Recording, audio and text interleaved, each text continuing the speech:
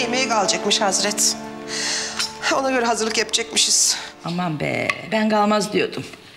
Israrlara dayanamamış saraylı. İstemem yan cebime koy. Yerini yapacak bu. Bunlar evlenecekler. Bak görürsün. Taktı kancayı. Evlensinler tabii. Hoş. Gökhan Bey'im noter haklarda hiç bez yok emme. Kız bununla evlenilir mi? Baksana gözleri felfecir okuyor. Kız Gülizar. Sen de kimseler beğenmiyorsun ya.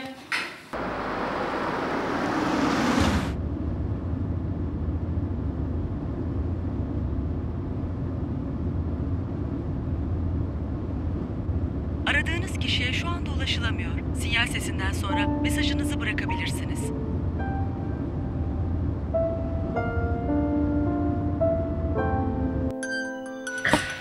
Kim arıyor kız?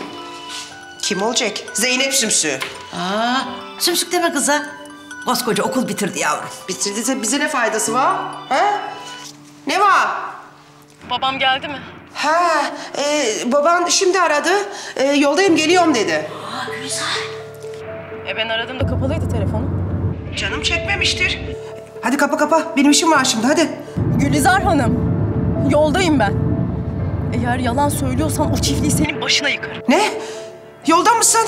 Kız, kız kafayı mı yedin sen? Zeynep, bak sakın gelme çiftliğe tamam mı? Zeynep bak dinle beni sakın gelme. Görüyorsun değil mi şunun yaptığını? Ha Fatma abla? Bak suratına, suratıma telefonu kapattı. Niye yalan söylüyor ki kıza? Babasını merak ediyor işte. Hoş.